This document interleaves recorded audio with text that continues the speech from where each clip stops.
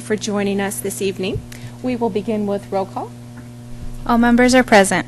Thank you, Mrs. Browning. And Mrs. Niles is going to lead us in a pledge. So if you would please rise and join us in the pledge.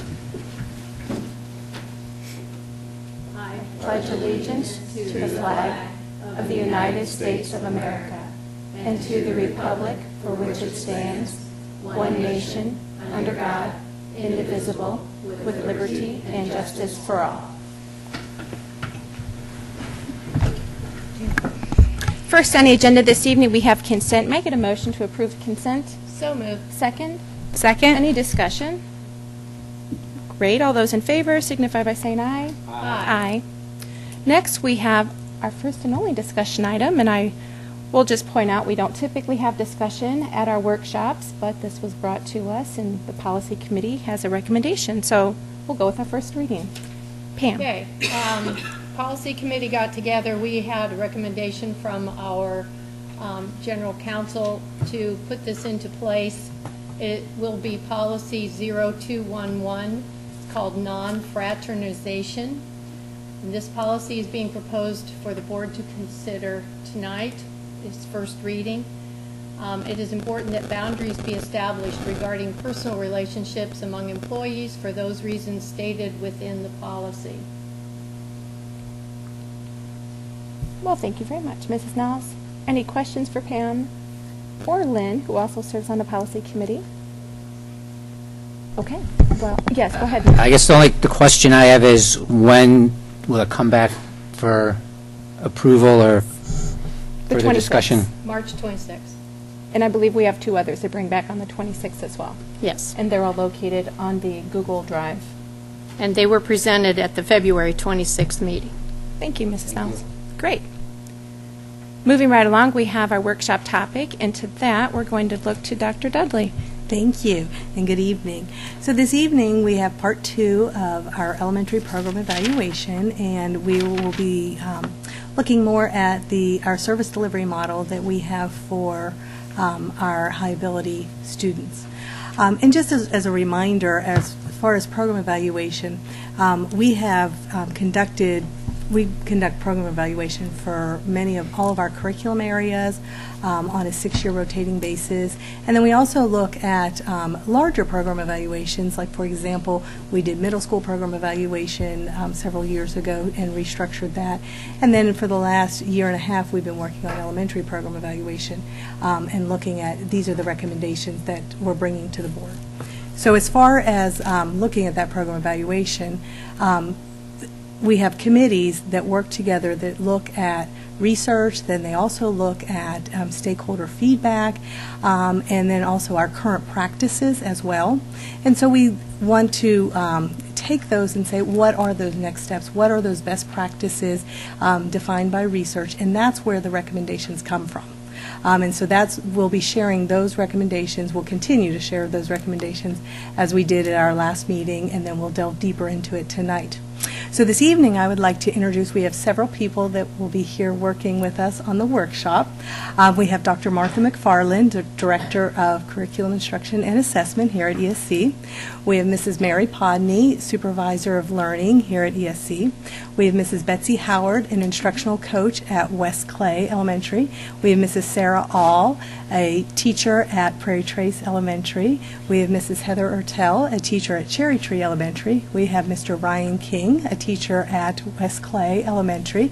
We have Mrs. Julie Arnold, a teacher at Forestdale Elementary. And we have Mrs. Jill Ship as well, a principal at Prairie Trace. And they will be helping us with our learning this evening um, in a little bit. But I'd first like to turn it over to Dr. McFarland.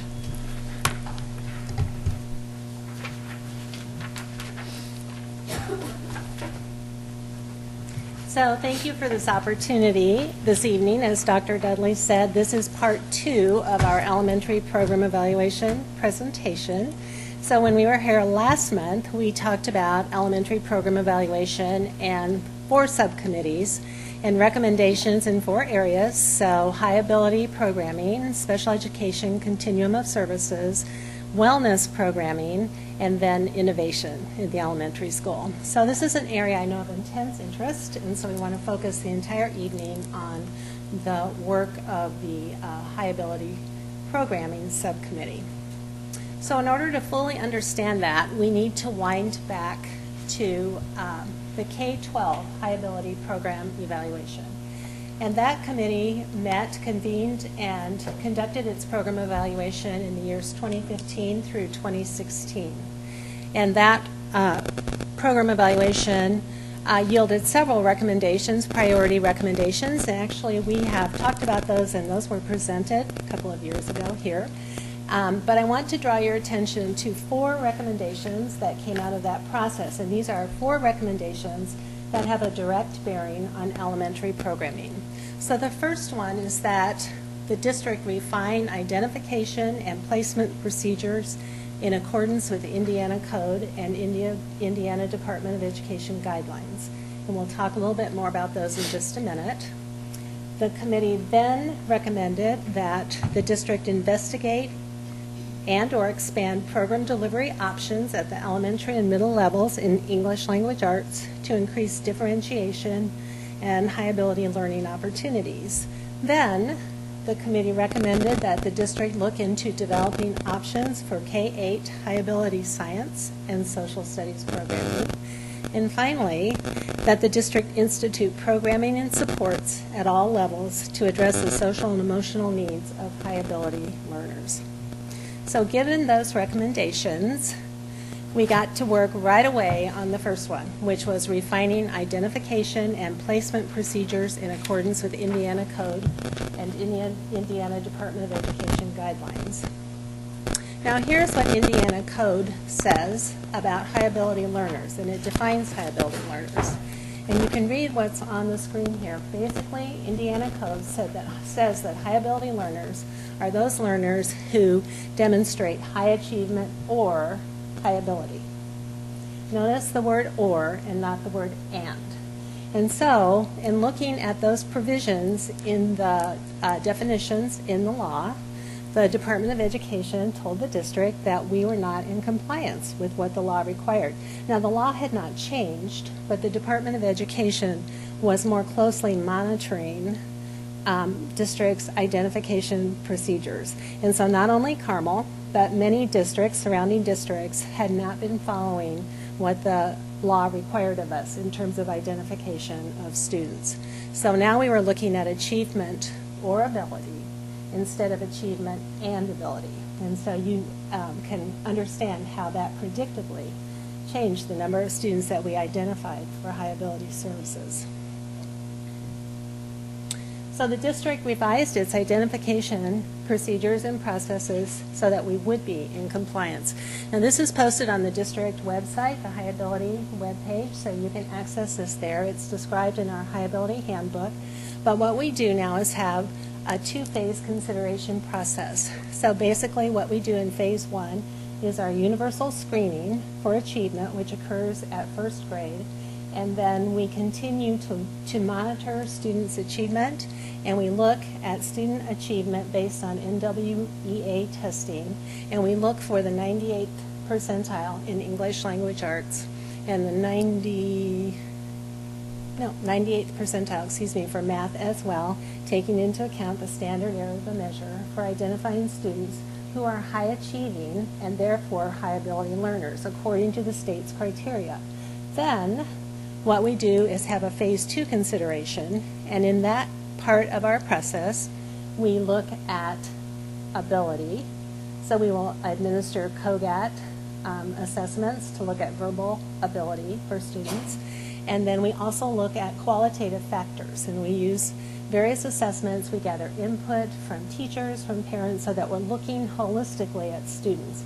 Because we have some students who may not achieve at a certain level, but demonstrate the characteristics and quality, qualities of giftedness. Those could be English learners, they could be twice exceptional learners, learners who just developmentally aren't quite there yet.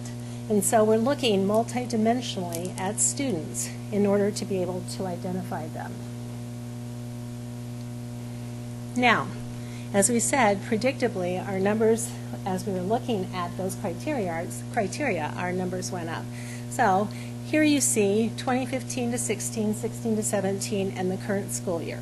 And so you'll see the number of newly identified students, second through fourth grade, and you can see that predictably, we have more students identified early and in second grade for high ability services, and then in third grade, over time, um, and in fourth grade and fifth grade, we see those numbers drop. Although during the 2016 to 17 school year, we also identified more students, and you see in that middle bar that there were more students identified at each of those grade levels for high ability services.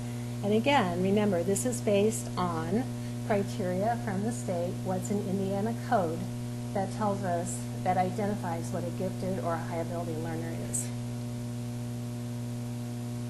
So of- overall, numbers of high ability students in our district, you can see from the 2015-16 school year, where our students who were placed were based on achievement or ability, and then moving into 2016 to 17, where we had the achieve, excuse me, achievement and ability in 2015-16, then we moved to the OR criteria. So 2016 to 17 was achievement or ability, and then in 2017, again, we're at achievement or ability. So you can see how the numbers have gone up based on what we were required to do under Indiana code. Now, we did engage some consultants, high ability consultants in the state of Indiana to uh, two women who are widely known for their expertise in high ability programming. They have their own high ability consulting uh, business. They also work with Ball State University and with the Department of Education to look at our data to help us to make sure that we were aligned in terms of identification procedures, but also to make sure that our programming aligned with what the research said. And in essence, they told us we have a very elegant problem in the Carmel Clay schools. We are a high-performing district, therefore very blessed to have many high-performing students in the district. So it's really upon us to make sure we're meeting the needs of all of our high-performing students in addition to all of our students. So you see the numbers have gone up. We have this elegant problem on our hands. So how are we going to serve our students with equity and parity? Make sure that we're not compromising for our high ability learners, but make sure that we're providing evidence-based practices and services for all students in the district.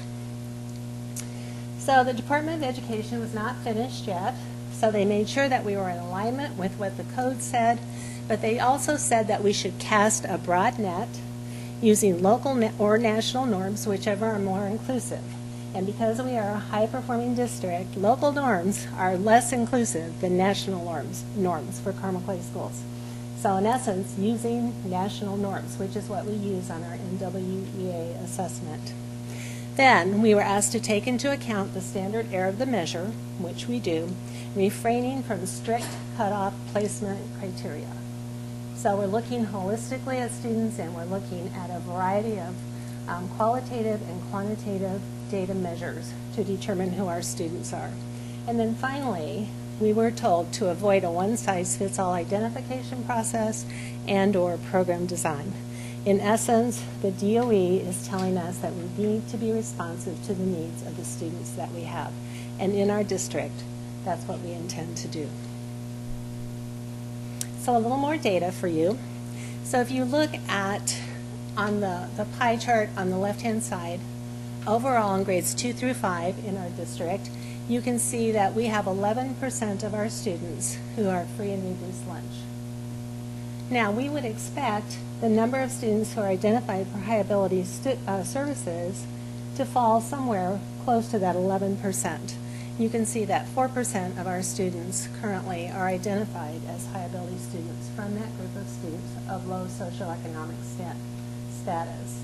And so that's a statistic that we want to keep our eyes on. We want to make sure that we are using multiple measures to identify the students who are entitled to high ability services to make sure we're being responsive to their needs.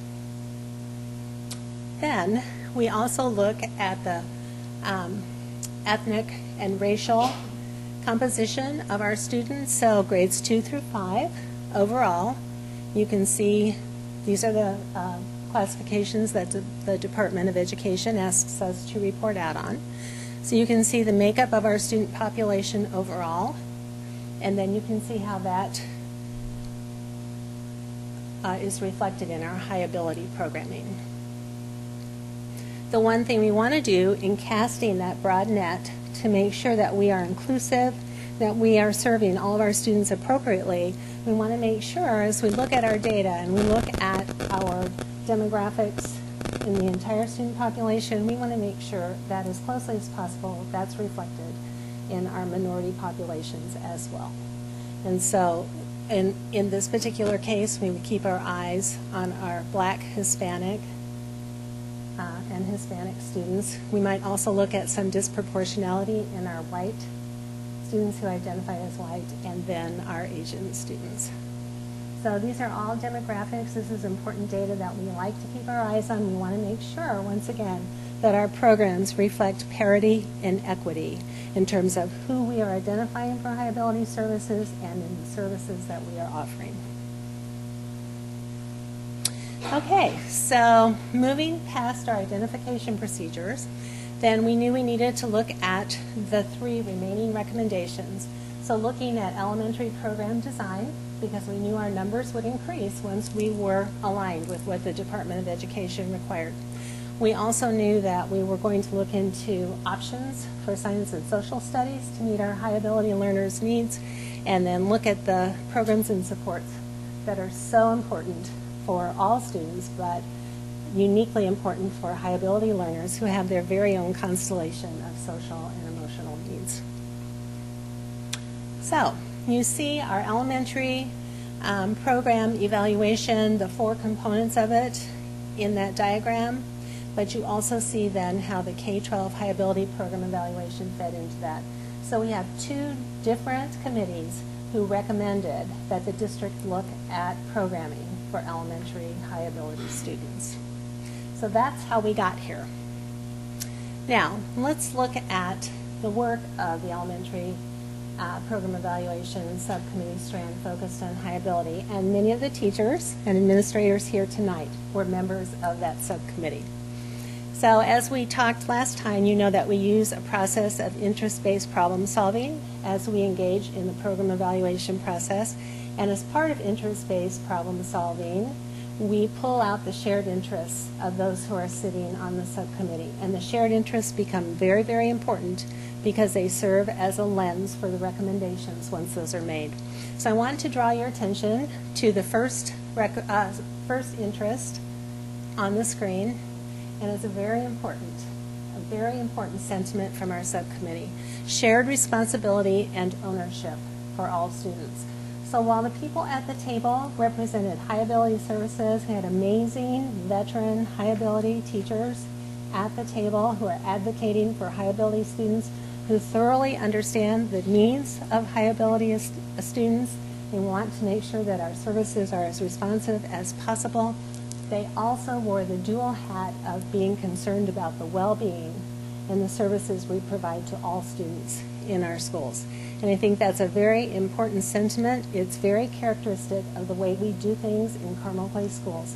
So it's a shared ownership. We care about all of our students. And that was very, very true with this uh, subcommittee's work. So we want to um, embed that focus on high ability students within the fabric of the school and provide high ability students the benefits of a learning environment that was rich with connections to the general ed environment, but also maintained the integrity of high ability programming for our students. In essence, we want it all for our students. And I think you'll see that play out tonight. So we wanted the program's second interest to be responsive to specific needs of students. So it needs to be, for our high ability learners, appropriately complex with opportunities for acceleration, differentiation, and flexibility so we can benefit our high ability learners. And the research on the model that the committee, subcommittee recommended shows that when you have this program in place, it does benefit all learners in the school because it weaves those practices within the entire school. Evidence-based practices for one group of students will benefit other students as well. So, the committee looked at the research, and one of the things that pops right out is the fact that grouping high ability students is an evidence-based practice. Just as in special education, we have the least restrictive environment, which is an inclusive environment for our learners. For high ability students, the least restrictive environment is placement with other high ability learners. So they need to be grouped together. So the subcommittee felt very strongly that our students be grouped in clusters so that they would have intellectual peers to interact with during their school day. So, two pieces from the research, full-time grouping of high-ability students results in substantial positive academic effects in addition to smaller yet positive gains in social ma- maturity, self-efficacy, and motivation. And you'll recall back to the charge from the larger K-12 Program Evaluation Committee where we were given the charge of looking at social emotional well-being and programming for our high ability students. Grouping has that impact on students when students have access to their typical peers. So then we looked at various models for grouping and full-time grouping within schools. And one of the models that is very that is well uh, well supported by the research is the total school cluster grouping model. So it is a full-time grouping option. We did not want part-time placement for any students. It's full-time, provides high-ability learners the dual benefit of access to intellectual peers and other grade level peers within a rich and diverse context that promotes both academic and social and emotional growth. Again, we want it all for our high-ability learners, and that's what this model is designed to do a quote from the research, and the uh, primary researcher on this is Marcia Gentry, who is a professor at Purdue University. She's written extensively on this, and it really is her life's work. Total school cluster grouping is a specific research-based total school application of cluster grouping. This model is unique in that it considers the strengths and needs of all students within a grade level including high ability learners, and places them in classrooms yearly in order to reduce the range of achievement levels in each classroom. This in turn increases opportunities for differentiation of curriculum and instruction for all students, resulting in increased student achievement school-wide. And that goes back to that shared interest from the subcommittee of shared ownership and care and concern for all students. So here is their first recommendation that the district refine the existing program delivery model to more closely align with the total school cluster grouping model. So, in four steps, identify, identify grade level sections for high ability clusters with high ability students grouped together into one or more sections by grade level. Where needed to balance enrollments by section, cluster general education students into classrooms with high ability students according to flexible criteria always seeking the best fit for the classroom and the overall grade level. Do not simply identify the next tier of high performing students for clustering. Cluster decisions are made by the principal with input from teachers and other professional staff. And then balance all other grade level sections with students from a range of achievement levels and educational needs, with the goal of minimizing the range of differentiation required for any given teacher in order to best meet, meet student needs. A few additional recommendations. Utilize opportunities for flexible grouping within grade level teams to best meet high ability student needs in English language, language arts, math, science, and social studies. And use data and other criteria flexibly throughout the year according to task, content, and context to avoid tracking students into static placements. Use flexible grouping options to expand opportunities for social emotional learning for all students. So within this flexible grouping option, students are afforded opportunities for uh, rigorous science and social uh, uh, learning within their grade level.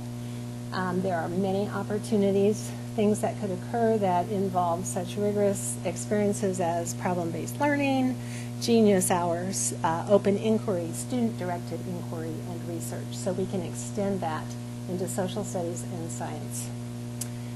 Uh, number three here, identify materials from existing curricula and adoption so that teachers have what they need to teach and to differentiate to meet students' needs. Provide opportunities for collaboration among general ed, special education, high ability teachers The Indiana Association for Gifted Education and the National Association for Gifted Educators have position papers on this. Strong, strong statements of the value of collaboration among all staff to support high-ability learner needs. And then finally, to provide professional development to support ongoing growth of teachers who are veteran, high-ability teachers, those new to the high-ability arena, to make sure our teachers know and understand the nature of giftedness, that they know and understand compacting, acceleration, enrichment, um, task complexity, the many things that go into providing appropriate education for our high-ability students. So those are the recommendations that came from subcommittee members. All right, now, we're going to put it into practice and let you see how this works. Okay, so um, the way it works in the building level is at each building, um, student data will be reviewed annually with current teachers and professional staff. And so that professional staff might be um, the student services coordinator, focusing kind of on that social emotional piece. It might be the school psychologist, it might be the special education team. Um, it could be, you know, reading intervention, but they're looking at all student data at each grade level uh, with the teachers who have now, at this point, it happens each spring, and so at this point, they've known these students and know them as learners for an entire school year. Some of the things that they're looking at classroom performance, social emotional well being, environmental factors, um, overall picture of learning strengths and needs, and then obviously the academic achievement uh, goes into that as well. Students are then grouped according to qualitative and quantitative uh, factors to make sure that it's truly the best fit for them. And then using flexible criteria and multiple data points to ensure that um, all students, including high ability learners, have the best environment for learning and continued growth um, in an academic setting. So what this might look like um, for a grade level that has five sections, so there's five classrooms at this particular grade level, uh, you can see that there are um, 46 identified high ability learners or high achieving learners at this particular school. There are 32 students whose academic achievement is um, above average, and then 31 average students, three low average, and three students that are performing in the lower range and um, need additional supports in order to access the curriculum. Within those numbers, there are also four students who are identified special education students. So these are students that have um, an IEP to help them access the curriculum in the grade level. the first thing teachers will do is they'll look at those 46 students and they will um, group them into, in this example, they're grouping them into three different groups. So within those 46 high ability students, they're really looking at the social emotional um, needs of the groups of students. They're looking very specifically. Obviously, even though 40, all 46 of them are high achieving, there's still a range um, within those 46, and so they're able to group very intentionally um, to make sure that these students have intellectual peers with them throughout the day. The next thing the teachers will do is to intent, very intentionally place the students with special needs um, to make sure that it is a best fit, a good environment for them, and to make sure that the additional supports that are put into the classrooms are able to meet the needs of the students in that classroom. And then, um, as mentioned earlier, one of the goals of this program is to make it so that no classroom has more than three achievement levels. Um, and so in this particular example, uh, with the goal of wanting to have balanced classes by the end of 23, the three classrooms that have high ability learners have um, only two levels, so they have average and high achieving students in their class. Then you take um, for the next classroom, there are no high achieving students, and so we want to have those above average students in those two classrooms to ensure that we do still have above average students that can act as uh, academic models when it comes to showing some higher level thinking, um, that are asking deeper questions, um, and and so those students then are grouped in, or split. Those 32 students are split into the remaining two classrooms. um, the goal is also to try and have average learners in every single classroom So you'll notice then the remaining eight average students have split between these two classrooms. And again, each of the classrooms has only two or three achievement levels.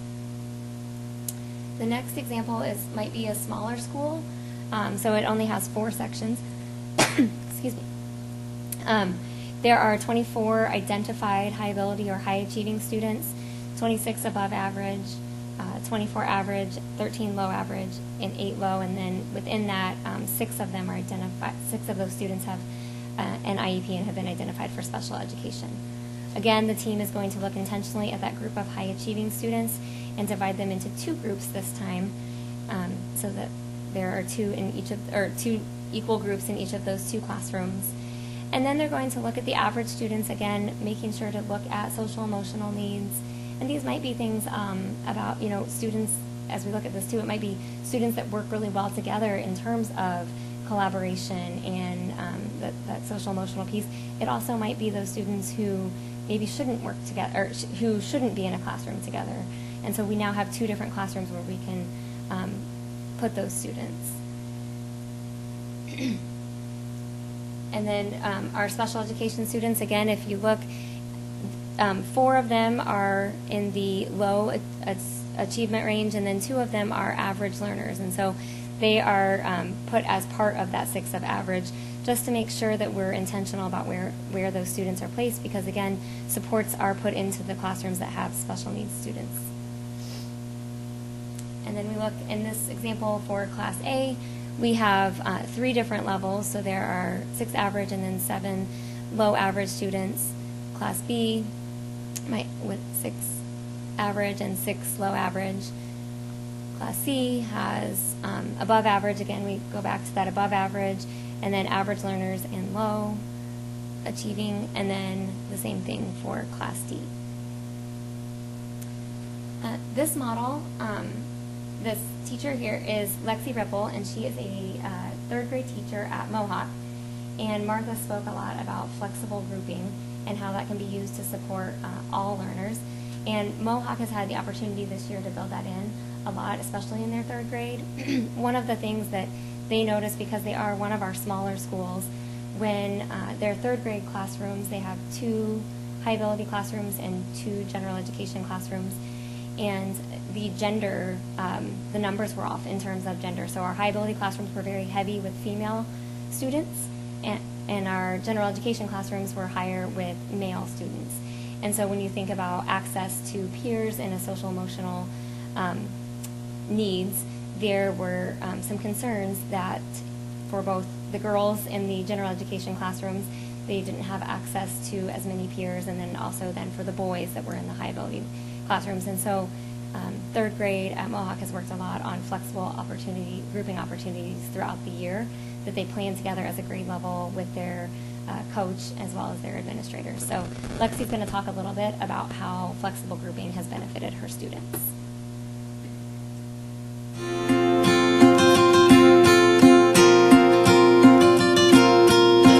Hi, my name is Lexi Ripple, and I teach third grade at Mohawk Trails. Flexible grouping has given our students opportunities to collaborate with all of their grade level peers. So far this year, we've gone on a field trip as a whole entire grade level, and upon returning, students collaborated to create a Google slideshow highlighting their individual learning. Other activities include team building and math games. Flexible grouping has supported our students with their social emotional learning. For example, I found that flexible grouping not only promotes a positive classroom atmosphere, but it also enhances our grade level community. Because of flexible grouping, there has been an increase in positive relationships that have formed between students and teachers. Flexible grouping has given me the opportunity to collaborate with all my grade level teachers and with our instructional coach. We have worked together to plan and facilitate all flexible grouping activities. And then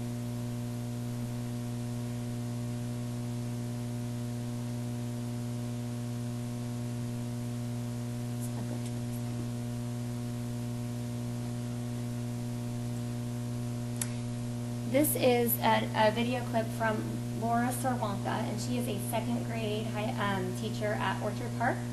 And Orchard Park, just based on the numbers that they had in their second grade, decided to go ahead and try the school, uh, total school cluster grouping at the second grade level.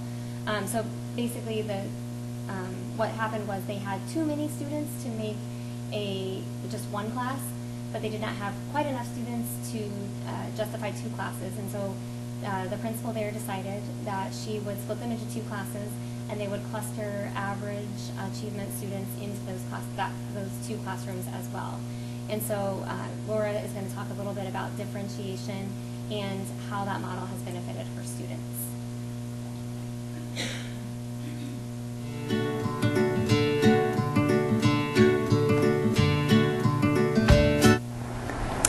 Differentiation naturally occurs in the workshop setting, where students are given the opportunity for research, inquiry, and choice, where students can take charge of their own learning.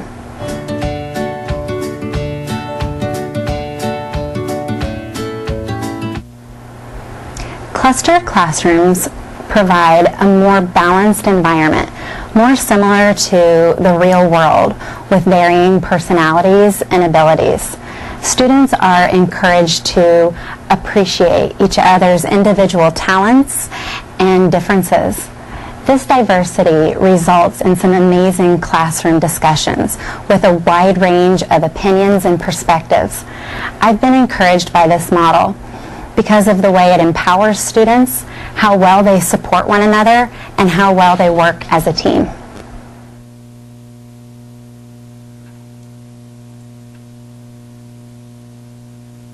Okay, and with that, I'm going to turn it over to Betsy Howard, who is going to lead us uh, through a simulation. And I would like to invite everyone,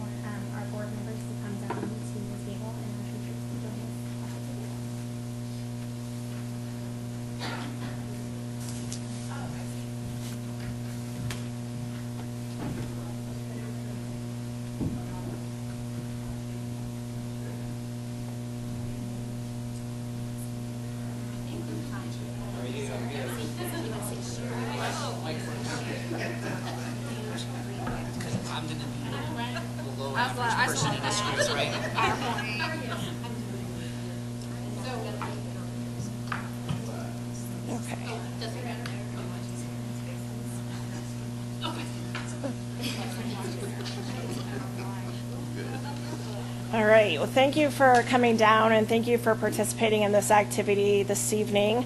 Um, we are going to have you or ask that you put your teacher hats on tonight as we take you on a, a, a learning activity. And what we're trying to do is show you a potential model that we might do with our high ability teachers as a professional development opportunity uh, next year. So with that in mind, think about how this could also be used with teachers. And so we've put you in a ability clusters. You have a expert in your group that has learned about the total school cluster group model through um, the work the work that we did on the committee.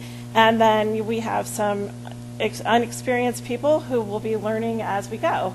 Um, and so I want you to keep in mind that just as our grade level Indiana academic standards drive our classroom instruction, tonight we are going to be using a standard from the National Association for Gifted Education, and that revolves around Standard 3, Curriculum Planning and Instruction. And so I'll read that for you since some of you can't see very well. But it says educators apply the theory and research based models of curriculum and instruction related to students with gifts and talents and respond to their needs by planning, selecting, adapting, and creating culturally relevant curriculum and by using a repertoire of evidence based instructional strategies to ensure specific student outcomes. So that's the standard that's driving our activity this evening. And then your learning targets for tonight are with a learning partner, I can study the case history of a person who, as an adult, has made a significant contrib- contribution to American society.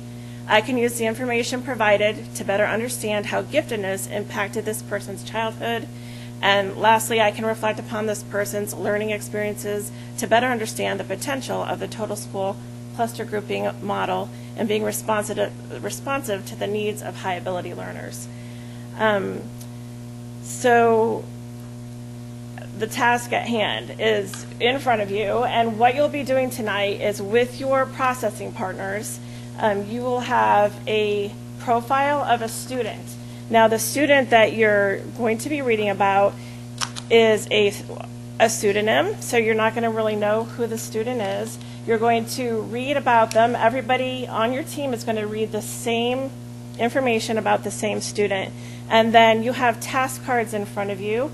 There are five task cards, and you have a little uh, template that shows you the blacked out number for your task, and that's the one card that you're going to choose. Once you've chosen your task card, read about your student, and worked at, with your team to answer the task question, then we're going to go around the table and we're going to share out our thinking. And then there's going to be a couple questions that are listed in bullets at the bottom of your white um, half slip of paper. And we're going to have a, a debrief. And then we're going to read and learn about your uh, the person and who they really are in real life. We're going to do this for three different people. And then at the end, we're going to come back together and have another debrief. And what questions might you have about this task? All right. Well, so in a high ability classroom, we would want to lead with a big question or a big idea, a big concept, because our high ability learners are hold apart thinkers. And so we like to start broad. And so for you, our big idea tonight is high ability students benefit from a service delivery option that facilitates authentic differentiation and nurtures continuous growth and personal development. And then we always have essential questions that go along with that. The essential questions um, not only act as a stimulus for cognitive development, but they also provide a vehicle um, to learn the subject matter. And so tonight, the, your subject matter happens to be total school cluster grouping. Um, so with that being said, we are going to let you start on your um, first task. I don't.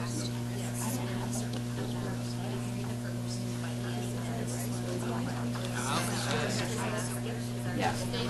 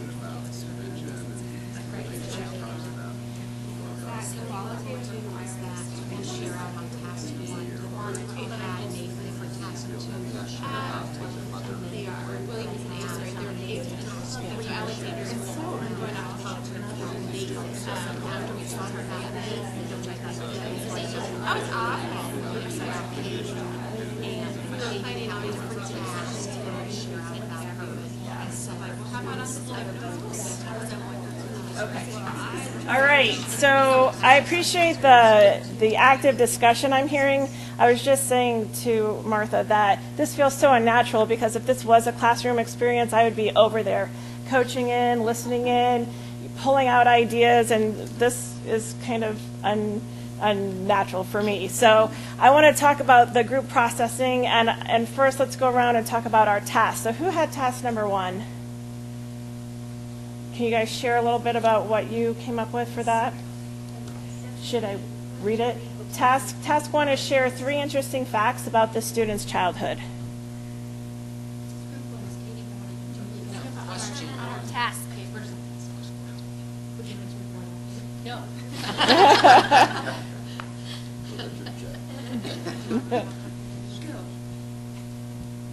Okay, so our task,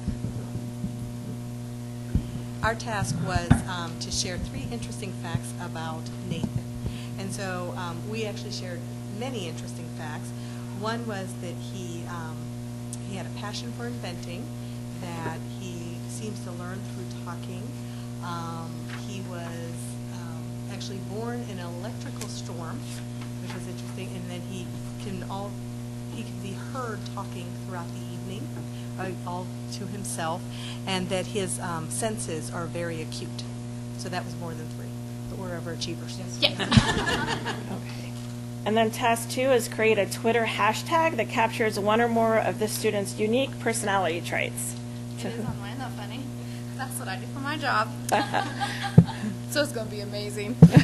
um, so one of the things, uh, where's this at? I'll talk loud. Is it on? Okay.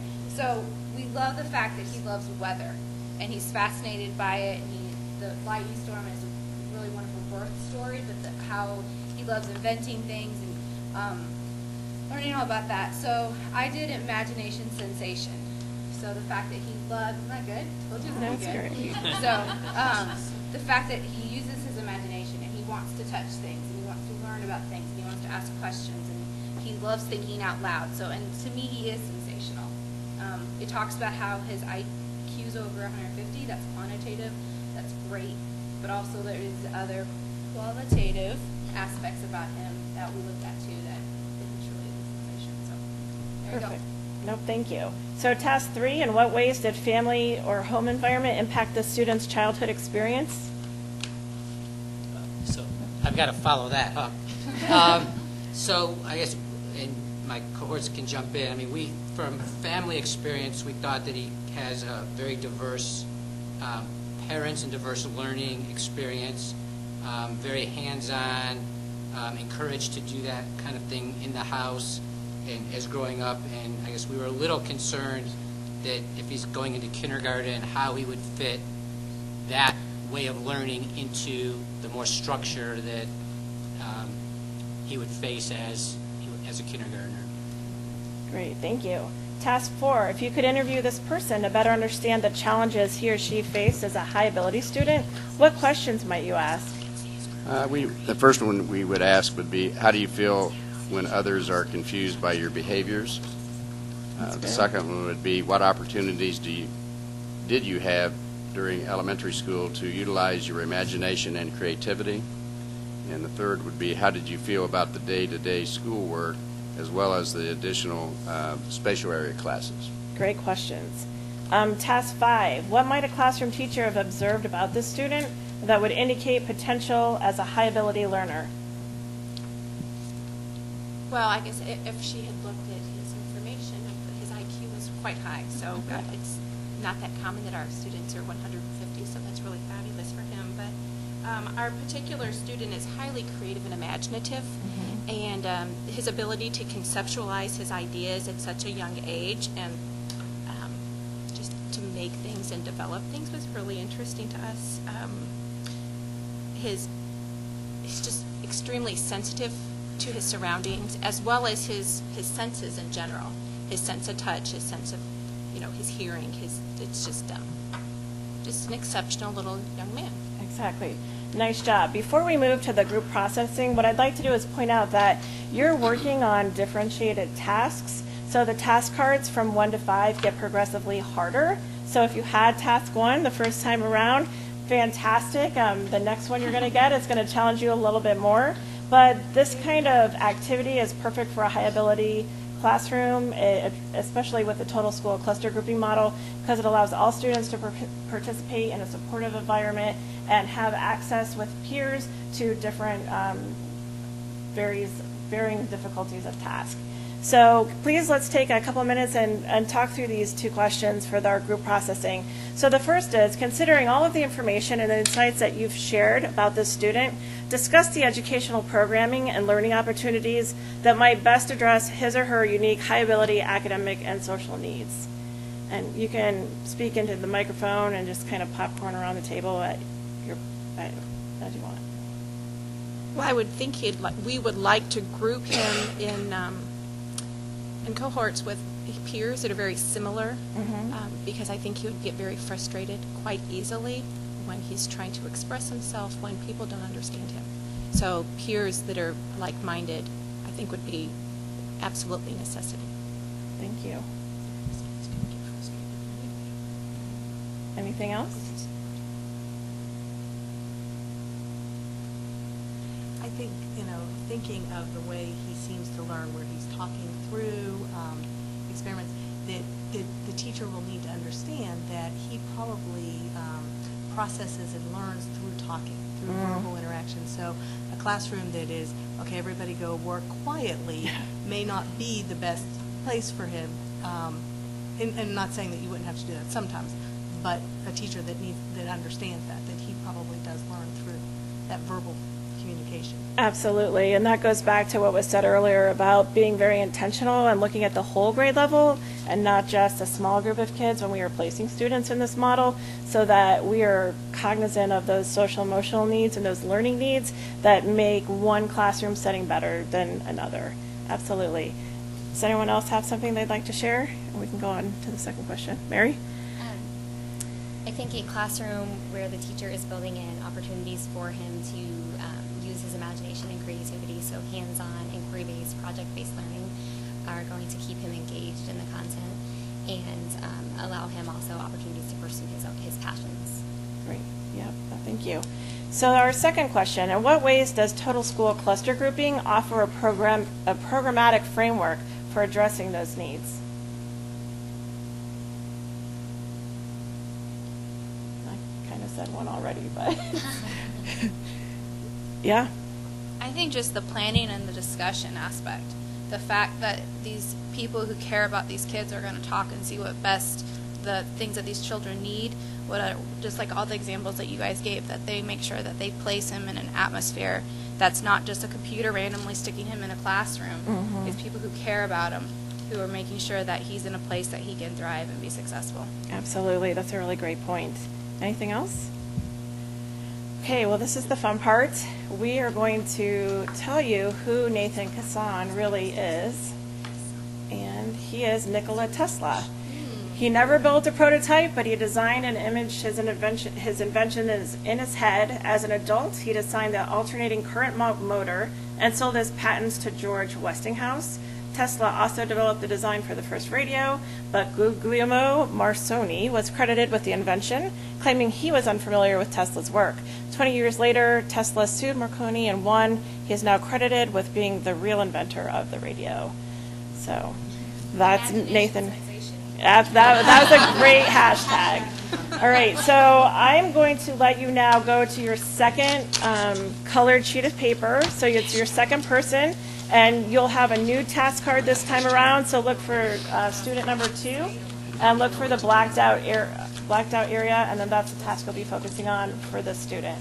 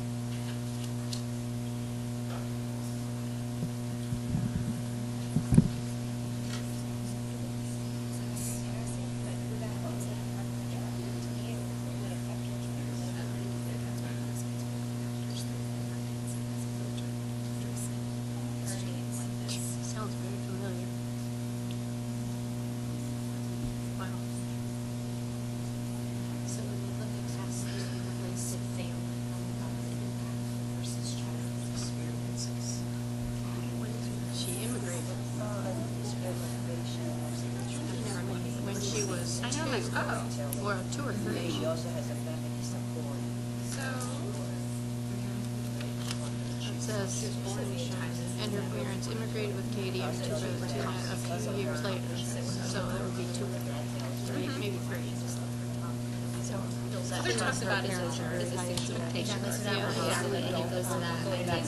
Yeah. Oh, okay. Yeah, So I would ask, but they aren't giving us their Chinese heritage, so Okay. they're speaking only Chinese at home. I also think she was doing it as a language stuff. Right. Science, she might say something else. Um, yes, and the other one is Yeah. because she's a Well, yeah. computer and writes very elaborate. That would be sentences. definitely- yeah.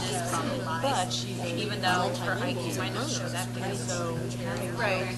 Uh, But I think it would be really cool to just have those conferences, to teachers who are learning, listen to her speak about books, and listen to her come up with creative stories. Yeah, but the problem is, the tests are given in English, so how they feel Yeah. as a child. How So they? for capture a, it. for a kid, And it's through those conversations and the bonding with the teacher that you're gonna find teachers.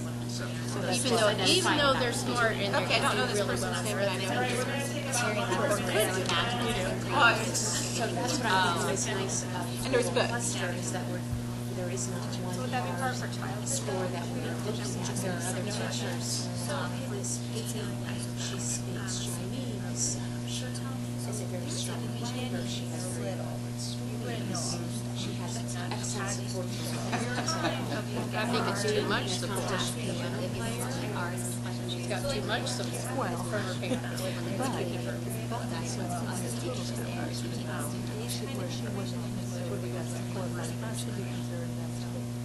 But she could very much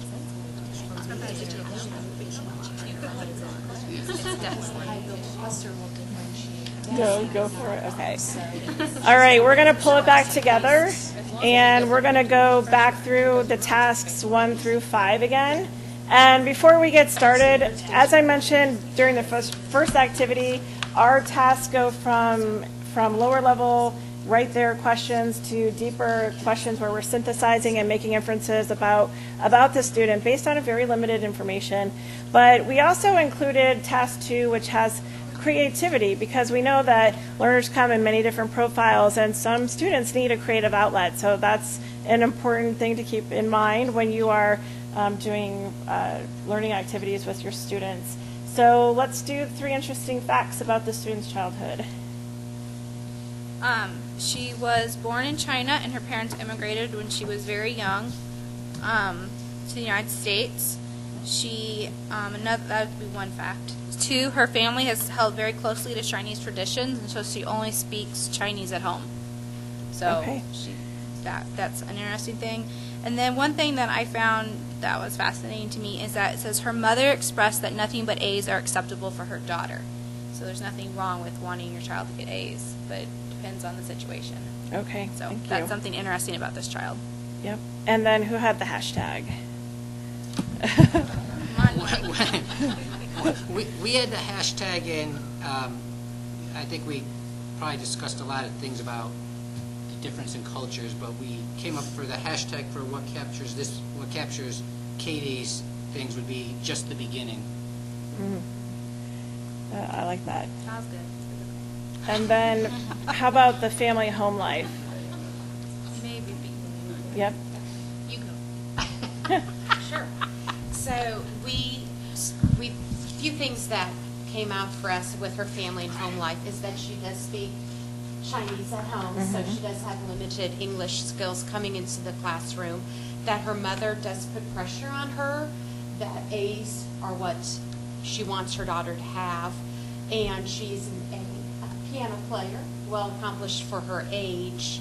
So she does have the family support from her parents. They want her to do very well, and they expect her to do very well. Okay, thank you. And then if you could interview this person to better understand them, what questions might you ask? Um, we said that in a lot of classrooms, the greatest thing that a teacher can do is form a bond with the student, and Mhm. through that, you get the truth of the child. And I think this would be a situation in which we discussed that you would really need to sit down and know that child very well, and you would find those passions, and then you would probably see the giftedness come out. One of the things we talked about was um, asking her, what goals do you have for learning? in a situation at school where it's just her and the teacher one-on-one. Um, if you could have any job, what would it be? You know, they're saying they're pushing in there because they want her to be a doctor, but is that really what she wants to be, or would she express, I really want to be a writer someday? Right. Um, and then finally, she, it says in there she's an avid reader and she writes very elaborate stories. And I think through discussing books and talking with her, you would really see the giftedness come out and her ability shine, even though there might be the language barrier. I don't think Yeah, through creati- creativity is creativity. So Yeah. you would see that regardless. those are great questions, absolutely. And then the last one, what would a classroom teacher have observed? That test five. Okay, uh, as was noted, uh, you know, she's an avid reader, she writes stories, plays the piano. Mhm. Um, So that shows some indication that she has a long attention span. Um, She has an enjoyment for learning. Um, She has early and rapid learning, and she's creative and imaginative. Those are all character, would be characteristics of 5G. Absolutely. So when we go to our group processing task and you consider all of the information that you just shared with each other, um, what are the educational programming and learning opportunities that might best address her unique high ability academic and social needs? One thing, um, I don't think anyone talked about it, but it said that one of her um, goals, where, where is it at? That she wanted to be, clo- um, where is it at? Doctor. She, she wanted to be closer to like her peers. She wanted to be, she, she, her, she wanted to be like her friends. And so, um, one of the oppor- so I think she's a very social child. She wants to be around other people. She wants to, so, and then as far as being like her peers, that sometimes that's a really, really great thing. And then sometimes also that can cause problems too, depending on peers that she wants to be around. So I think that is definitely like a great conversation for the teachers and the parents and everything to have. Okay. I think that point is a really good segue into the second question. So in what ways does total school cluster grouping offer pragmatic um, framework for addressing those needs? Why? Go ahead. Okay. I think one of the grouping options here could be since that her goal, one of her goals is to becoming, making friends with Mhm. American peers. So maybe pairing her with, um, put her in a class that was more outgoing, you know, Mhm. students, and that way will make her easier fitting into the environment. Absolutely. Anything else? I was going to say, with the total school clustering, if she's considered one of the average, not the identified, and she was clustered in with those high-achieving kids, there's a very good chance that she could rise to that Absolutely. same level based on her exposure to those peers and being more social. Absolutely. Being exposed to the way they think. Heather? And as mentioned, there will be so many options for reading and writing with all of the curriculum being in all of the classrooms where teachers can take and use what they need to Mhm. to best meet the needs of all their students. I Yes. think she'll really benefit from the very rich literature Right. that can be pulled into the Absolutely. So you really touched on the social emotional aspect and giving her access to peers that she can relate to and grow and learn from, as well as the academic aspect of um, being in a class. If she was at her IQ level, which I think they said was 95, that she would be considered maybe in the average cluster, but in a high ability clustered room, she could grow and rise rise to that occasion because we know she's got that ability. She just hasn't um, had anybody to nurture it at that level. So, time for the reveal. Katie Lou is Amy Tan. So, Amy Tan and her siblings did deal with significant amounts of parental pressure for academic success. As an adult, Amy dropped out of her pre med classes at San Jose City College and focused instead on English and linguistics. She became a successful business writer, but later found greater fulfillment in writing fiction. Her first book, The Joy Luck Club, was an international bestseller, and she continues to be one of America's most popular novelists and one of the first Asian American women to achieve this status. Yeah. I have a comment here. I think that in our current identification criteria, Mhm. Katie here in the example could very well be identified as a high ability student. Now, the her, I know that first of all, we are not just evaluating a student as a high ability just based on IQ test or achievement test. And also, her IQ here at 95 is simply because of the difficulties here in her language. That's that's absolutely absolutely true. So hopefully she's in a class with a teacher who would recommend or recognize her gifts and then ask for that kind of data review and use her classroom data and her personal experience for the whole school year as opposed to one test which was given in a language that wasn't the student's first language and be identified absolutely i agree yep Okay, so time for your last uh, profile. So you can go to the third color paper and look at your task card, which should be different again for your group.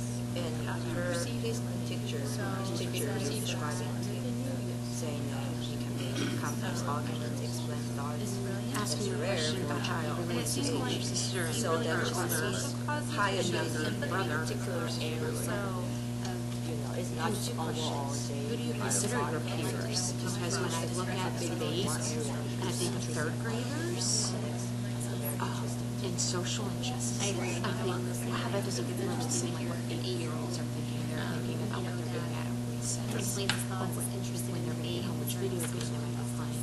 But then also, what ways do you best interact with your peers? So kind of that, you know, because Yeah, I it's know. hard when you read through his Identity thoughts. to his family. To get a sense of- I'm just trying to. Yeah, right. Yes. though, it can be. So you're three steps like, ahead. somebody like, I think Right. of sports as you're part of the team, yet really you're bothers my husband. It's not like soccer and baseball oh. where your counties and divides I, together. I, I am you're just, swimming I'm very intrigued and I love It's, I just feel like it's more isolated, same as piano, it's more isolated. So that was why I had the question about how you interact with his peers. Did you have questions too? That's kind of what I thought about.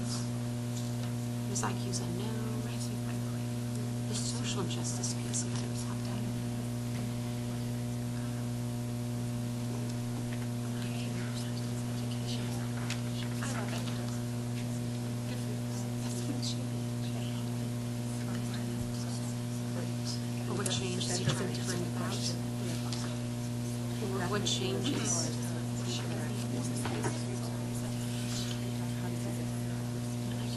Okay, let's go with our in- three interesting facts about David Collins.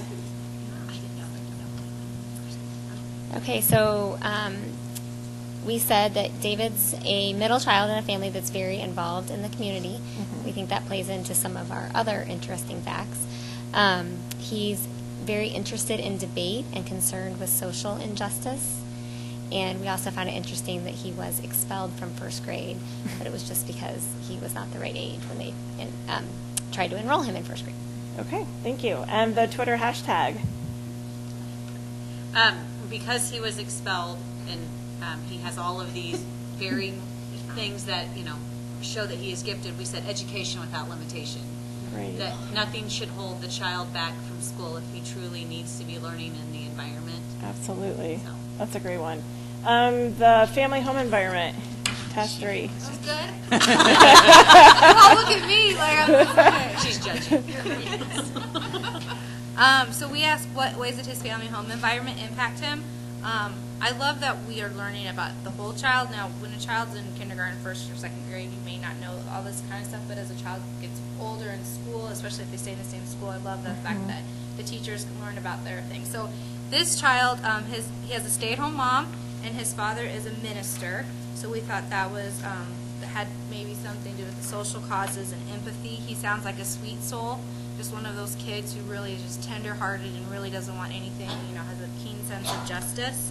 Um, he talks about how his parents are supportive but not overprotective, um, which is something being we kind of called him stuck in the middle. He's he didn't have a super his IQ's unknown, but he, his teachers call him brilliant. He's not the oldest, he's not the youngest, but he really is just this middle child stereotype kid. Yeah, no, those are great insights. Um, in the interview, if you could ask a question, what would it be? Okay, I guess I have to go this time. um, we wanted to ask him about his relationship with his brother and sister, um, and his relationship with his siblings, uh, well, with peers and his siblings. Um, I would like to know what would be a good argument you might make on, on a particular topic. I'd like to know what would interest him. Um, and I also would like to know why he enjoys swimming. Because um, that, you know, maybe that's a place for him to think or to uh, do something other than all of this um, involvement that he's in. And I would be interested in finding out what his favorite song was, because it might give some insight into who he is. Those are great questions, and they kind of tie back to what Sarah said in our last round, is that you really getting to know your student and making that personal connection is a great way for you to help that student grow and reach their potential. So those are great questions. What about task five? What might a classroom teacher have observed? All right, well, as, as task five, um, it was indicate potential as a high learner. Uh, Since no more than three characteristics, we have three. Um, One would be, uh, we focused in on complex arguments and explaining his thoughts. We thought that was one, one clue. Um, The second clue we thought was, well, he appears to be well-rounded um, because of all the extra activities besides just learning. Um, And then three was, we thought it was interesting that um, he's concerned with social injustices in the world when he's eight years old. Okay, great. So considering all this information that you've shared with each other, let's go back and discuss the educational programming and learning opportunities that might best address his unique high-ability academic and social needs. Who would like to share? I would say since he was good at debate and uh, has a heart for addressing social injustice, and because his family is active, I would say give him some leadership roles, maybe in student organizations or whatever. Absolutely. For him to, you know, to really test his abilities. That's a great point. Anything else? We talked too Yeah. about how important it would be for um, a teacher to understand and appreciate his, um, oh, what did we say? His, his abstract, abstract thinking and questioning and not mistaking it for um, being argumentative. That's going to be critical for. That's a really good point. Is that what you had? Is that what you said, Leila? Anything else you want to share? Okay. So in what ways does the total school cluster grouping offer a programmatic flame- framework for addressing those needs? I just think, I mean, these are examples, but I mean, our kids are so amazing. Yeah. I mean, they're so different, and they have so many great skills and things. And the fact that we're even talking about all the things, I could get emotional, I'm not going to get emotional, that make these children exceptional is incredible. And I'm so excited that we are talking about it and we're learning about the different ways to help them and everything. So that's all I'm going to say. So I'll start crying. Oh, thank you. Yes, Heather. When I think of the total cluster grouping, I, I'm thinking of David and the other two students as well. That's something like a genius hour. Yes. Where they can pursue their, s- what they are passionate about, because all these three kids have been passionate about something. Mhm. Um, But that would give them an outlet to pursue and really work at the level that they need to work at. Absolutely. That's a really good point. Anything else anybody would like to share? you know, just kind of tying on to that, um, thinking about these three students together. Now, think Mhm. about them in a group. One would be really working on the invention part of it. One in the group would bring the gifts of the storytelling, the writing part, and then this last student would bring the presentation of sharing what they've learned. I mean, so imagine how these, the group dynamics of these three kids working together and their gifts really working to put together a whole activity. Absolutely. Really good point. So, are you ready for the last reveal? Our David Collins is Martin Luther King Jr. So, he attended segregated public schools in Georgia, graduating from high school at the age of 15. He received a BA degree in 1948 from Morehouse College and was later awarded a fellowship to attend graduate school at Boston University, where he received a doctorate at the age of 26. As a young child, Martin Luther King Jr. noticed the injustices in the world, and this led him to become a key figure in the civil rights movement. He was awarded a Nobel Peace Prize for his remarkable efforts, and at age 35 became the youngest man to have received the award. King was later assassinated for his beliefs, yet his legacy lives on as one of the nation's most influential civil rights leaders. So I am sure sitting in our classrooms today, we will have three or more incredible um, kids that will go on to do great things. And that's one of the things that makes me proud to work for Carmel Clay Schools and is really excited about um, the future of our high ability programming and the total school cluster grouping model. Um, so, that being said, I'm going to take us to our reflections. So, we're going to talk about how this activity and the things that we discussed, um, some of the highlights. So, for your activity with the task cards, all of the students were held to the same rigorous standard and learning targets. So you had differentiated tasks, but you were all working with the big idea, that big concept, and using those essential questions to narrow your focus and really expand your thinking and take it to a deeper level. Um, the activities were intentionally leveraged to uncover the big idea, guided by the essential questions. The process seam seamlessly integrated variable tasks and complexity. So as I said, task one was, you know, find three facts. That's kind of a lower level task. Uh, task two was creative, uh, create the hashtag for Twitter. And then task three, four, and five got in sequentially harder with inferencing and synthesizing what you've learned and um, pulled out from or what you gleaned from the little blurbs on your students. And then group processing at the end of each investigation provided a context for rich discussion, inclusive of a variety of ideas and viewpoints.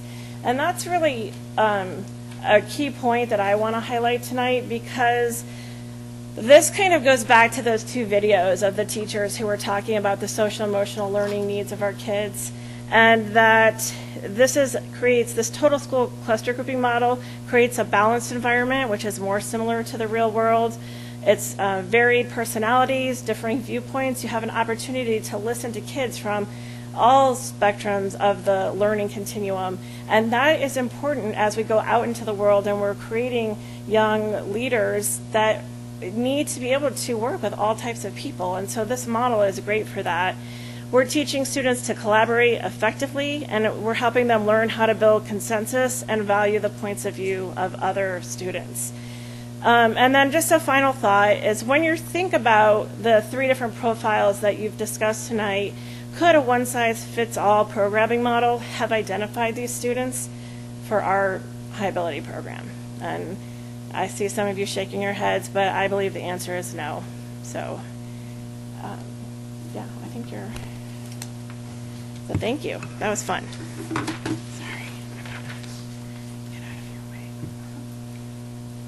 Okay, before we close our presentation and then uh, address your questions, um, I just want to share this is a very powerful reflection from a master teacher among our high ability teacher ranks. Uh, she shared this with me even a couple of years ago, and it's something I keep uh, right at hand at my desk, and I go back to it and I think about it frequently. So, Carmel may have an antiquated definition and understanding of what a gifted child is and how a gifted child looks, acts, and grows. Personally, the biggest help for me was to change my attitude about the different types of gifted children, and after that, the gaps seemed to close on their own. The whole social emotional piece is huge, but a deeper understanding of twice exceptional children and evidence based practices allows for all children to be successful. Um, very touching, and I think that sentiment sits at the heart of this incredible subcommittee of educators, many of whom are sitting here tonight, who worked very hard to design a program that will do the very best we can for our high ability learners and also will support the learning of all students in the building. So, what questions might you have? I know we have a number of questions. Um, first, let me begin with a huge thank you to the entire team that came. Um, the last workshop, as well as this workshop, really helped us dig deep and better understand what the program evaluation recommendations are and why they came about. Um, this was a really great workshop. Um, question I have, I'm sure other people and parents have as well. I've had children go through the program and some not. Um, curriculum. it seemed to be a little different, and I know our curriculum has evolved, but what type of curriculum are we going to be using in the classroom? Um, how robust will it be? Are we using, what are we going to be using? Are we changing everything? Help me understand how this is going to look. So um, currently, the high ability curriculum is for English language arts is loosely organized around a curriculum map that's designed very much like what you saw tonight. So there are big ideas and essential questions. There are core materials that our high ability uh, learners use within that. And then there are uh, a range of additional supplemental materials that a teacher might use to address high ability learner needs. Um, within our program, we have evolved over the last couple of years to a workshop model, and this is not just high ability, but general education too. So uh, pedagogical model that has a great deal of research uh, support for it. So we have, we use what we call the Lucy Calkins Writers Workshop. So our high ability um, learners are engaged in the Writers Workshop. And then this year, we have made available to our high ability teachers the Calkins Readers Workshop materials as well. And so teachers have had the option of also engaging their students in this workshop model. And the workshop model is simply where students have received the benefit of targeted mini instruction that's aligned with standards. They have opportunities for uh, individual and small group application, for individual goal setting and conferring with the teacher. Um, mid workshop teaching points, opportunities to share their uh, whatever it is they're reading or, or writing, and then celebrations and sharing at the end of the workshop. In just that's a broad overview of what that looks like. And then within the model, we have core texts um, designed for our high or selected for our high ability learners, and those texts are rigorous and um, engaging for our students. And then we have a variety of texts that students use in small book clubs. Um, they use in they read individually. Uh, we have junior great books. We have simulations. We have some of the wonderful Indiana Department of Education simulations uh, or units that have been developed in some of the Will, the William and Mary units for high ability learners too. So there's a, a range of materials that our English language arts uh, that our teachers use in that area. So moving forward with our model, we want to support the workshop model wherever our high ability teachers are implementing that. Some are using this uh, Lucy Calkins model. Some use a more general workshop model for implementing, and we like to give teachers autonom- autonomy to teach in the way that best meets their teaching style, but also the needs of their students. So we'll continue with that. All high ability teachers who will have high ability clusters will have access to all of the high ability materials and then they will additionally have access to all of the general education materials too. And we have told them this is probably the only time in their lives when the district will say to you, you have access to anything you want. What do you want? And so they've all gotten uh, connection to a Google form where they are telling us exactly what they want, what quantities they want, and um, beginning to think about how they'll uh, imagine using the materials to support their high ability students. We have also told them that we do not want to compromise anything for our high ability learners. Again, we want it all for our high ability learners. So we want the rigorous um, education that this district supports for high ability learners, but we also, also want to support their social and emotional well being as well. Um, in terms of curriculum development, we are uh, beginning the work on frameworks going forward for our high ability teachers, so looking at standards and how those can be bundled. So we know that integration of content, science, social studies into the English language arts curriculum is a best practice, not just for high ability students, but for all students. So opportunities to bundle standards, um, suggestions for big ideas and essential questions, and then suggestions for how to infuse the necessary rigor within their workshop model. So we'll draw on their expertise and what they're already doing with their curriculum materials. And then we'll look at some new practices too and offer suggestions on how that might look. For instance, we have at the middle level in our honors English courses, we have some examples of teachers who are infusing problem based learning within their workshop model. And we would love to see that as a practice at the elementary level. So we will uh, engage one of our supervisors, former department chair and honors English teacher, with us in that process to help us understand how we can um, infuse a problem-based learning scenario within our workshop model for high ability. And that's just one example. Heather mentioned uh, Genius Hour as another structure that we might look at and work on.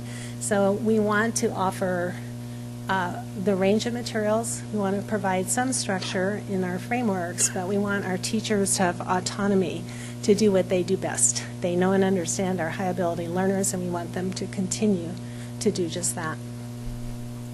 How about math? Are we still doing? We are not changing our math service delivery model.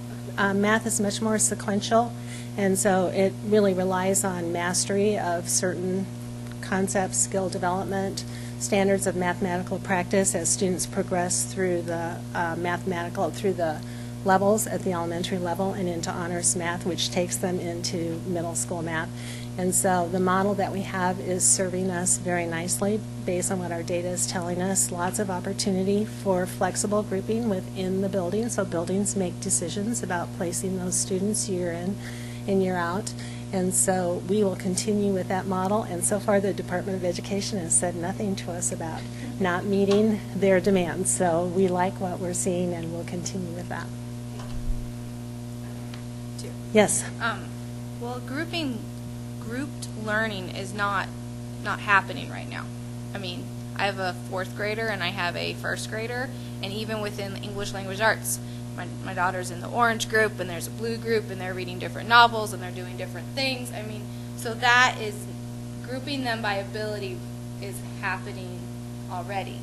Now, adding the high ability factor is different, but I mean, even within high ability classes, I'm assuming that they are challenged varying their skill set. Is that correct? There is a, a huge range of um, student needs within a high ability classroom or a high ability cluster. In many of our schools, we already have cluster classrooms. Um, it's rare to find a classroom that's uh, fully a high ability classroom. So within that range of students, high ability students, there there are certainly different needs, not only just in terms of academic achievement, uh, their strengths and their areas of need, but also we know in terms of their levels of interest and their pursuits, their background, their language acquisition, so many different things that can play into uh, the range of needs for which we need to differentiate for our high ability learners. So yes, we do know that we need to group within even a high ability cluster. The one thing we never want to see is a static grouping arrangement. So once uh, an orange group student, always an orange group student. We know that practice is not supported by the research and doesn't serve our students well. Um, what about labels? So within your examples of how many, low ability, high ability, like right now with high ability, a parent will get in a letter that tells them they'll either be very excited to get one or they'll be very upset they didn't get one, depending on who it is. I mean, so we let the parents know that their child is scores high ability, but as far as the other ones, I mean, besides the child's grades, how do they know or will they know? How, what's this going to look like in the future?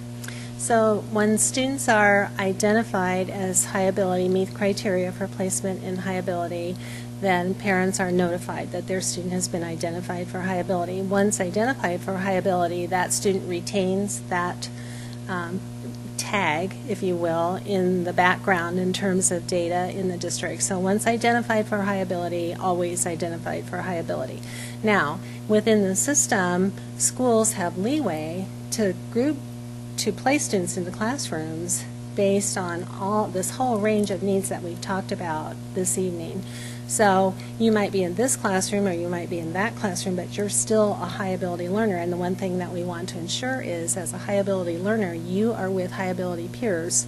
So you are placed in a cluster of students depending in the number of students, depending on how many students and the makeup of the, um, the grade level for that. So students do not lose, if you will, their high ability status. We're being responsive in terms of classroom placement and then that flexible grouping across the grade level, but they retain that, that identifier. And what about the non-high ability students? How are they, I mean, I saw how you distributed them, but how are they identified?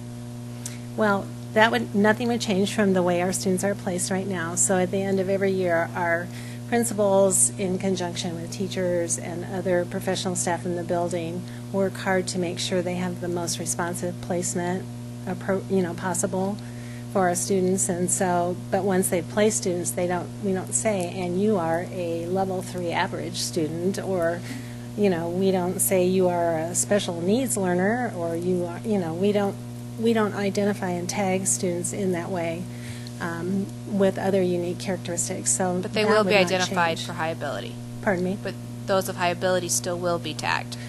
They must be tagged, that's a requirement by the state, yes. They must be tagged, and we know we want to serve them in classrooms where we have clusters of high-ability learners, where we have the best placement for their individual needs.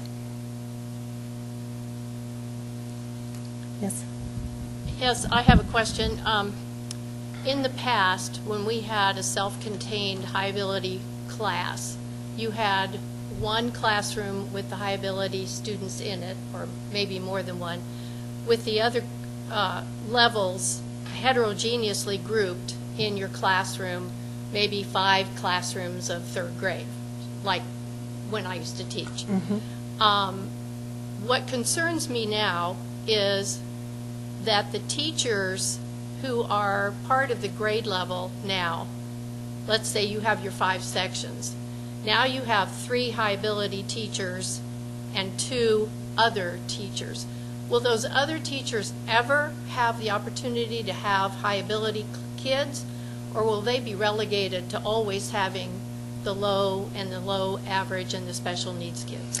One thing with our professional development initiative, we want to make sure that that's open to and available to any teacher who wants to learn about high ability student, the nature of high ability students, and the pedagogy and practices that best meet the needs of our high ability learners. So we want teachers to become familiar, become familiar with with these practices because as part of the research that supports the total school cluster grouping model, when you infuse the building with the pedagogy and practices of high ability learning, all students benefit. So we want to make sure all teachers have that opportunity to learn and to interact. Now, those teachers who didn't have the cluster, maybe they will be working with high ability students if the grade level is doing a uh, flexible grouping project across a grade level. So maybe you'll have a general education teacher who has has a really intense interest in history and reenactments of of the Civil War. And so maybe you have some high ability students who will be placed with general ed students. They'll all be working at their own level, pursuing independent inquiry and research, but they're working with a teacher who has an intense interest and can guide that learning. So I would say teachers, it's never the intention that teachers get kind of pigeonholed into a certain role. And then the other part of the research that's very clear is the best teacher for a high ability student or for a high ability classroom is that teacher who wants to work with high ability learners. And so where you have a teacher who's interested in that, then we'll support that learning and that opportunity for that teacher. What about if all five of them have that interest? Will it be moved It- around? It, it's a, it's a principal decision in a building, but certainly if teachers have the background uh, knowledge and understand the pedagogy, then decisions could be made about rotating stu, uh, rotating teachers. We even have that now with, uh, where we loop in grade levels and where teachers change assignments, that kind of thing. So we would not discourage that. Again, we'd go back to wanting to have teachers who have had the training, the professional development, and really have the desire to work with our high ability students. Okay, well, I hope, hope that's the way it works. I also have concerns about the, the teacher here staffing for the uh, high ability program. So, for example, College Wood fourth grade currently has two high ability classes, and under the total classroom model, it will increase to at least three if the same number, if we still have the same number of high ability students. So it's two from three, two to three, and I think the demand on the number of teachers and their professional development will be huge under this total classroom model. I'm not sure about our current um, high ability. Do we have that capacity to support the increased high ability classes? My other concern here is that so now for teachers, they are teaching the clustering classes with um, which has high ability and, uh, say, average students. They have to attend to uh, significantly diverse student groups. So they will be addressing both high ability and other students. Will that take away their attention from high ability students? I also think that my takeaway from tonight's the three profile here in the simulation is that I would say each kid here is high ability in some way. So they will be classified as high ability. And we can see their social emotional, emotional needs are different from, say, general ed students. And also, they would like more challenging environment. So in other words, the general ed classes will not fit them. And they would like a very unique uh, environment. And I also want to share some of my professional experience. At IUPUI, I happen to teach the same accounting course to an honors section and to the general ed section. So the honors section has only honor students. The general ed has a mix of, you know, just general students and uh, a group of honor students because honor students are not required to take all honors. They have the flexibility to choose some hours in the honors program. What I observe here is that in the honor student in the honor section here, I can give my students a different textbook, give them different assignments because I know they, they are more motivated, they want more challenge. So their assignments here, their practices are more consistent and which apply universally to the whole class. And therefore, the learning environment in that class push them forward. And they work as a group. They're working really hard. While in my general ed class, those high, those honor students, they have the excuse of not working too hard because they know that there will be people behind them, below them. The performance will be below them. So I Can I, can I just make one comment for the parents that are here? Please remember this is our meeting, and don't, you know, we're- you're here as our guests, um, and this is our discussion, and and we're at this point just listening to what a recommendation is. Um, And I think that there's worry out there that there's going to be a dramatic change, um, and that's why you show up to one meeting. So please just keep that in mind. And we're not going to address questions or answers because that's not, this is a workshop for us, and I want you to understand that. All board meetings are public, so no one was invited. You're welcome to come in two weeks, you're welcome to come in four weeks. Um, So applause are not appropriate. So We have public participation, sir, at every regular business meeting, which is the fourth Monday of the month. You can send an email and ask questions as well to the board and/or the assistant co-superintendents. But this is not the appropriate time. So I'm just sharing my experience, and I think that my experience is kind of similar to what we are proposing here, what we are considering for next year. Um, um, where am I? Am? So I talk about that. I have two sections here. So I'm concerned here in this total clustering model here. We take away? I I'm concerned that high ability students may not get enough attention or full attention as they would have under the self-contained classes. And they also have unique social emotional needs that must be addressed in that small group instead of just in the general ed. So I'm concerned here about the teacher qualifications as well as do we really address the needs of our high ability students under this model?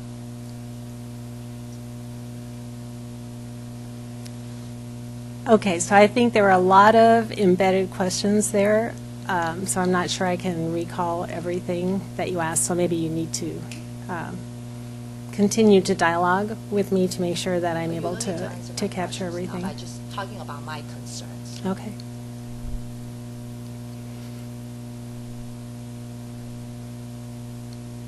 Do you want to ask any? I mean, do you want, I mean, do you want? These are my concerns. Right. But do you want? I don't think I addressed? Receive, I mean, I don't want you to, I don't expect you to answer my questions right now. I don't think I received enough information at this moment to think that the total clustering model would be significantly better than what we are doing now.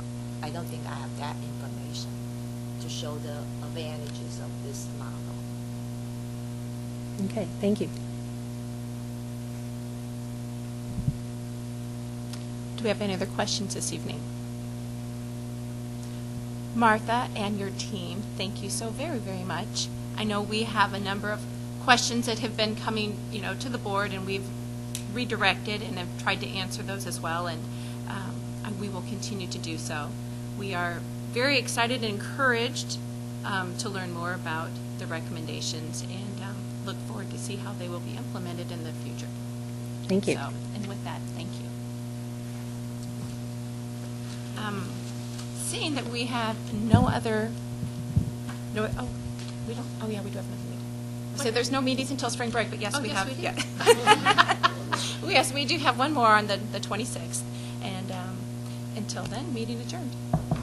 Thank you. Thank you.